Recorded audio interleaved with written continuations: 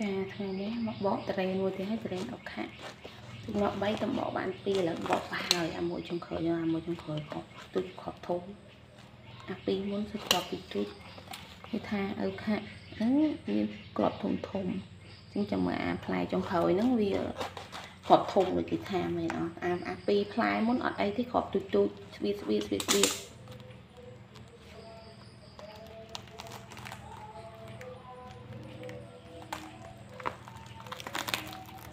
វ៉ាវវ៉ាវ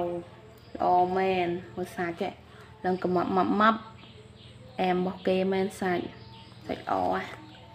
តែដឹងគ្រាប់ធំគ្រាប់ទូចទេណាសាច់នេះខ្ញុំតែបាននេះមើលសាច់គេមើលវ៉ាវលងទលុចលុចដូចកូនតមីអែមរបស់គេមែនទលុលុលក់